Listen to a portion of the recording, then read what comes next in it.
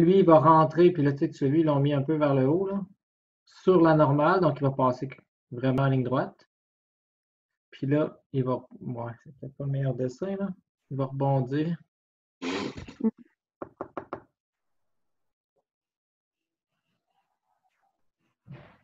viens de le faire mieux, mon dessin, ou il est correct?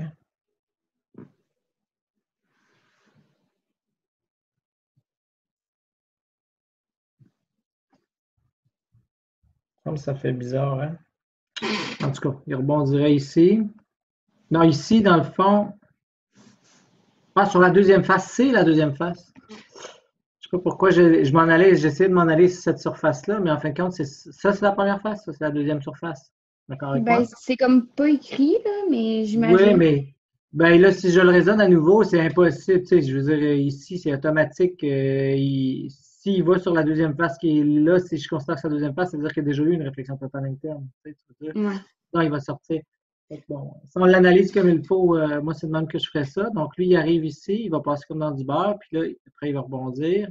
On veut ici qu'il rebondisse, je veux plutôt dire ça de même. Je veux que ça soit une réflexion totale interne.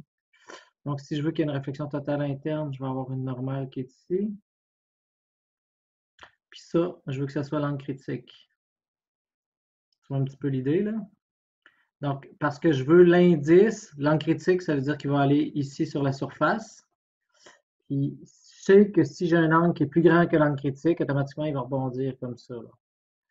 Ben, ça, ça va changer l'angle un peu, là. Mais euh, est-ce que c'est clair ou. Euh? Ouais. Oui, OK. Je vais juste euh, essayer d'effacer la petite affaire qui est là si on veut être plus précis.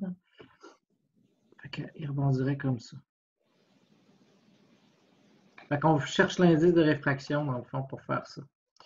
On sait que c'est 60 en haut, on sait que c'est 60 ici, puis on sait que c'est 60 là. Oui, vas-y, Marielle. Pourquoi il rebondit, ben pourquoi il reste comme dans le prisme sur la limite?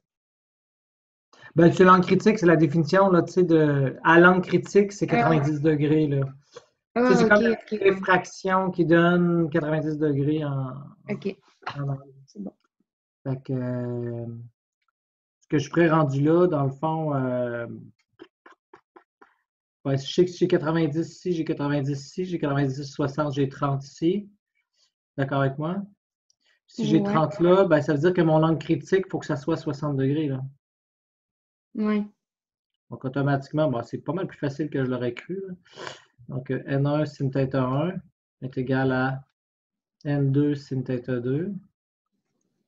Là, nous autres, on veut passer de N1 parce qu'on est à l'intérieur, on va aller vers l'air. Donc, N1 sin de 60.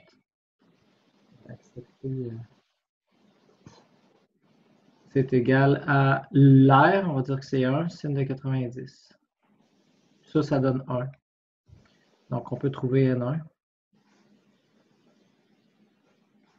N1, ça va être égal à 1 sur sin de 60. Ce qui donne, je ne sais pas combien, là.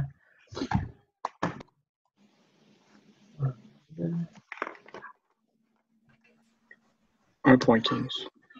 Bon, 1.15, 4, là. Tu vois, puis qu'est-ce qui arrive, c'est que là, ici, c'est le minimum. Si l'indice est plus grand, il n'y a pas de problème. Si l'indice est plus petit, ben là, il va, il va réussir à passer. Là. Ça veut dire que si ça, c'est plus petit, ben ça, ça peut être plus petit. Il va y avoir une réfraction possible. Si ça, c'est plus grand, ça veut dire que ça, ça ne peut pas être plus grand. C'est nécessairement une réflexion totale interne là, que tu vas avoir. Dans, dans, le raisonnement de ce numéro-là. OK. Fait qu'on n'avait pas besoin d'utiliser la formule qui est comme propre au à celle-là. Euh...